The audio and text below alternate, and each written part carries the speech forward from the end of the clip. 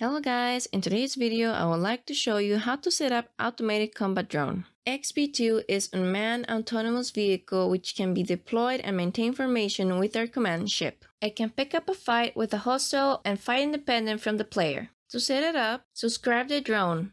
Link in the video description. Spawn the drone.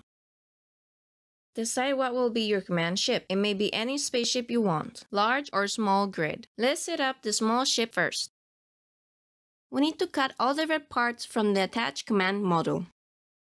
Now the green parts need to be placed on the command ship. Place the module according to your ship forward direction. Small arrows on the remote control will help you.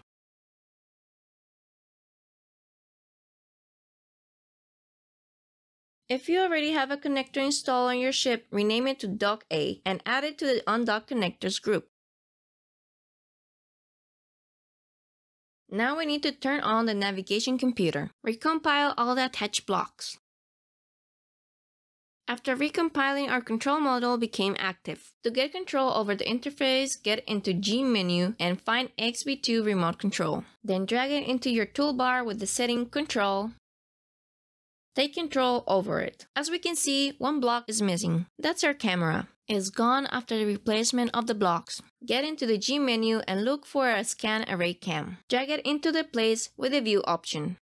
At this point, our command ship is ready. Now we need to establish a connection with our drones. To do that, we are now going to navigate through the text panel interface. The buttons on the toolbar are just for that. 1 stands for up, 2 stands for down, 3 for enter, 5 for previous screen, and 6 for the next screen. Select form up we can see that the drone became active and took its position in the formation. At this point, it will automatically follow us and pick up a fight whenever a hostile gets into its 600 meters turret range.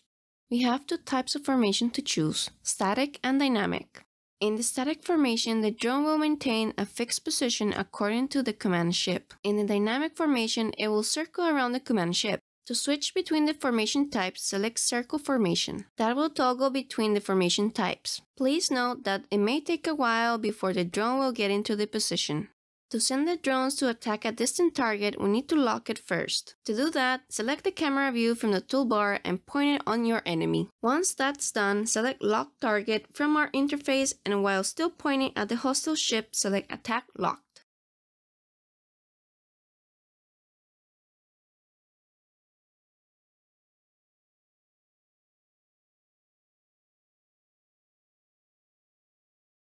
We can see that the drone came back after engagement with a hostile. If the drone runs out of ammunition or you just don't like it anymore, you can use a ram ability. To do that, we need to lock the target in the same way as we did it using the attack mode. Next, we need to select ram. The drone will ram the target shortly after.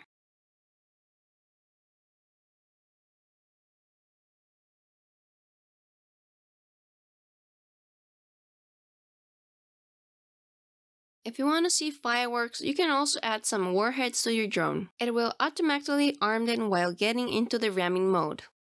Provided we still have it, let's dock our drone. To dock the drone, we need to get to the next page of our panel. Press 6, now select dock.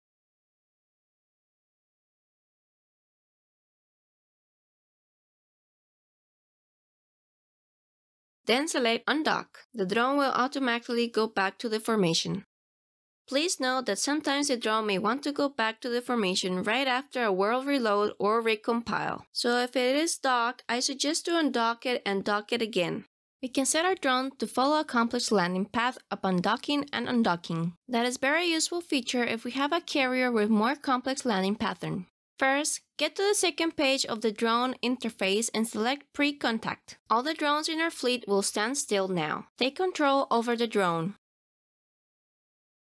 Position your drone in a straight line according to the connector. I'd advise to get no closer than 50 meters. Select 2 on the toolbar. That will record the drone's position. You can record multiple positions. You can erase the path by pressing 8.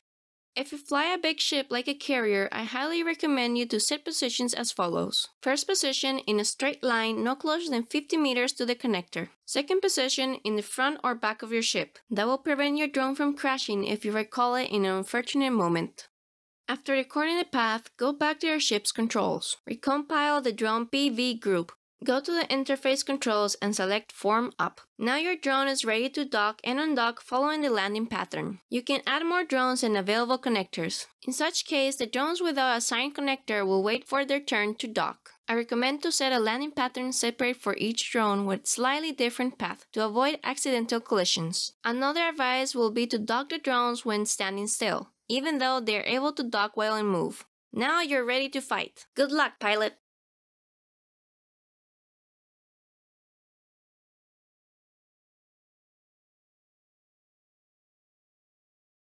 Thank you for watching. If you enjoyed this video, please consider to leave a like and subscribe for more.